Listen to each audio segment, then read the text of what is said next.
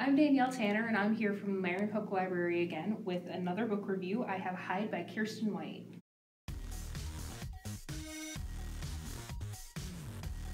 So, in Hide, you follow the story of Mac as she is signed up to be a part of a hide and seek competition where the winner takes home 50,000 at the end of it. You end up getting a sort of like Big Brother Hunger Games mix vibe from it, and especially from Mac, because you find out that she's the sole survivor of the hide and seek massacre that happened a while back when she was just a little kid. Um, but she's currently living in a homeless shelter, and the main woman of the homeless shelter points out that there's this competition coming up, and she thinks Mac would be perfect for it. 14 people are taken into this amusement park, told, hey, you're gonna play hide and seek. Two people are eliminated today, last one standing wins. Let's do this.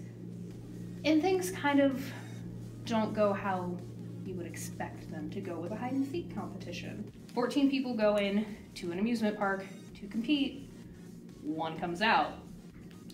It sort of seems like a slow start, but it picks up really quickly after that little tiny slow start of just a couple of chapters to kind of get you into the story. But if you're into horror, thriller, not quite knowing what could happen next sort of thing, this one is a good read for you.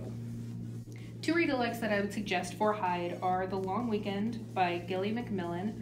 That one you follow the story of two other people who are dealing with why are these people going missing? How did they go missing? Are we going to go missing? And that sort of thing, very similar to this premise.